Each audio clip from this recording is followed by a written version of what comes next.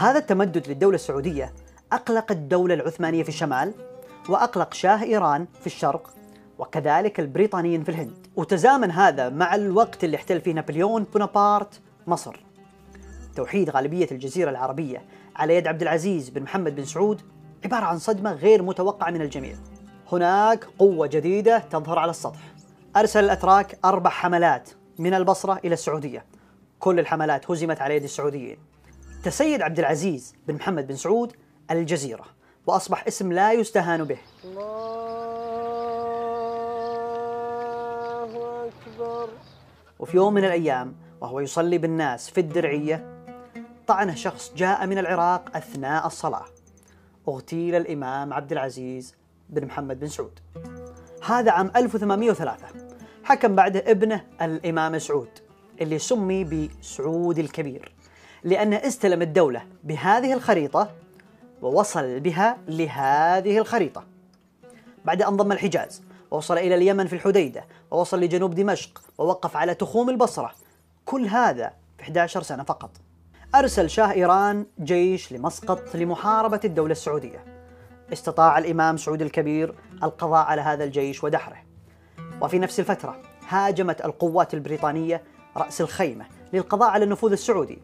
وألحق الجيش السعودي أضرار بالسفن البريطانية القادمة من الهند أثناء المناوشات. ثم توجهت هذه السفن إلى المنامة وقصفت القوات السعودية هناك. انتهت هذه المعارك بهدنة بين الطرفين.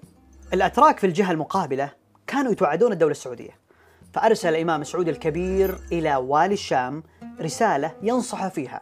وهذه صورة نادرة من تلك الوثيقة. لكن الأتراك كلفوا محمد علي باشا. بإرسال جيش من مصر للقضاء على الدولة السعودية. فأرسل ابنه طصن باشا اللي هزمه الإمام سعود الكبير في معركة وادي الصفراء.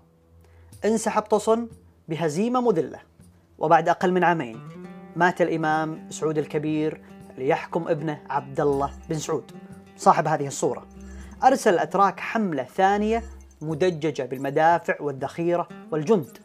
وقاوم أبناء الجزيرة العربية هذه القوات في كل قرية تمر بها من طريقهم إلى الدرعية.